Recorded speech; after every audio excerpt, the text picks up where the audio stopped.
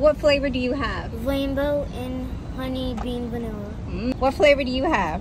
Milk chocolate and honey bean vanilla. Yum. All right, I have the brown butter almond brittle and the gooey butter cake.